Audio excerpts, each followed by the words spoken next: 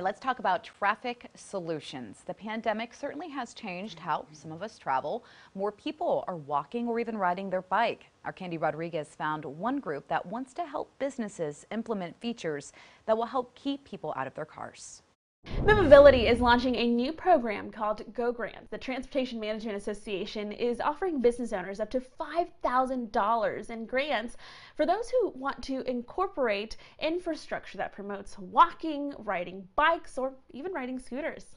Just trying to encourage people to get to um, their employers in different ways and also to the businesses that they that they visit. I'm always looking for well, since COVID, ways to help the restaurant. And this is like, this is actually a great way to give back to our customers and our employees.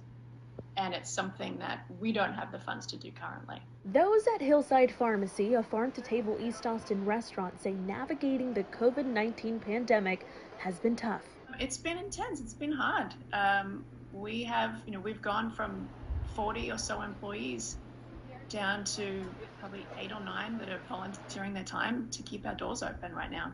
Co owner Jade Place says that's why they applied for the grant. They hope to get picked. She says they could use a bike rack and a locker for their employees to store their helmets and gear because before the pandemic, about a third of her employees would bike to work. She hopes if selected, this will encourage more people to do the same and possibly draw in more customers. But just you know everyone likes to complain about the traffic in austin you know and this is a perfect way, perfect way to help with that. Business owners have through november 30th to apply. In austin this morning candy rodriguez kxan news well, this program is new, and those at Movability say they are working on a way to measure the program's success.